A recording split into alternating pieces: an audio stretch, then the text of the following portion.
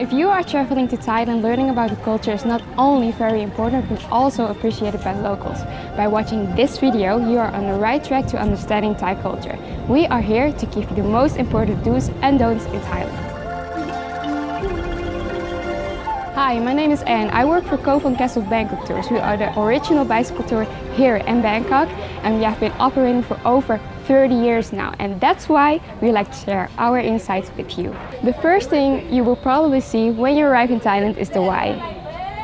This is a traditional Thai greeting or a way to show respect. There are three different types of wais. This is the first one. Put your hands together and your thumbs touch your chin.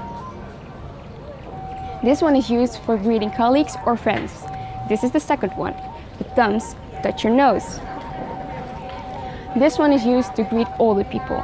And the last one, the thumbs touch your forehead.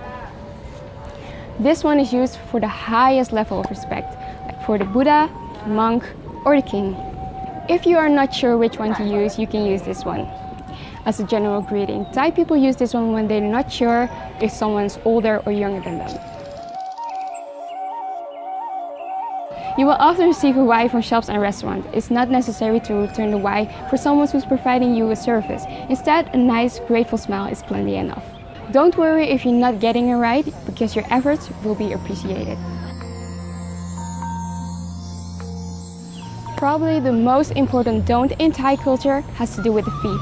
The feet are considered the lowest and dirtiest part of the body.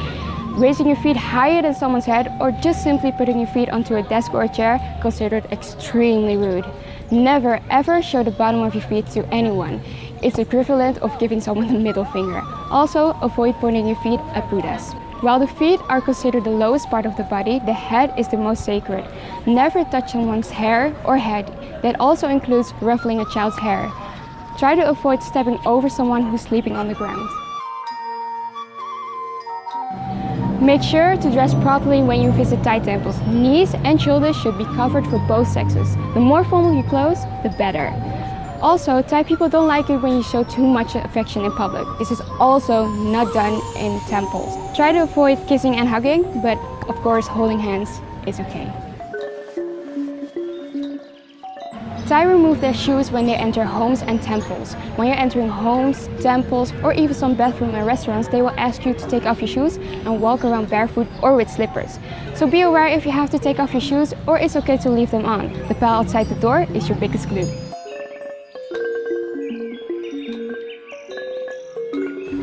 Don't point. Pointing is considered rude in many cultures, particularly so in Thailand. When you want to point at something, just use your hand like this.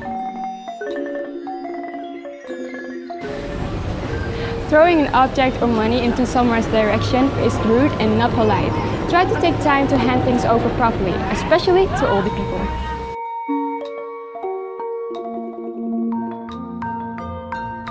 Don't raise your voice. Try to keep your voice down in shops and in restaurants. If you find yourself in an argument, don't raise your voice, don't yell, it won't help the situation and it also causes people involved to become embarrassed and lose face. Losing face is very important in Thailand. When you lose face, your reputation is lost and you embarrass yourself and the rest of the people.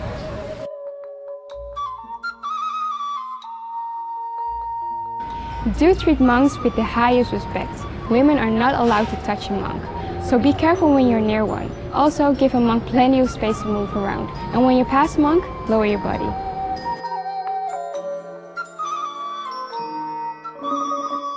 Taking pictures are typically allowed in Thailand, unless there's a sign that says you shouldn't.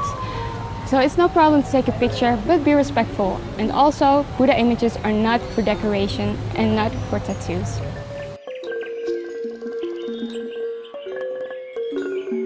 And the last one, don't forget to smile. Thailand is also known as the land of smiles, so try to smile as much as possible and you will notice that your experience will be even more enjoyable.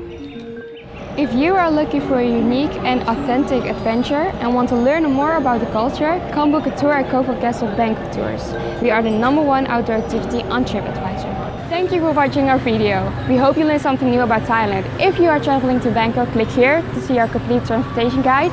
Click here to know more about us and click here to visit our website. If you like this video, please subscribe if you want to get notified when we're making new videos. Thank you. Bye!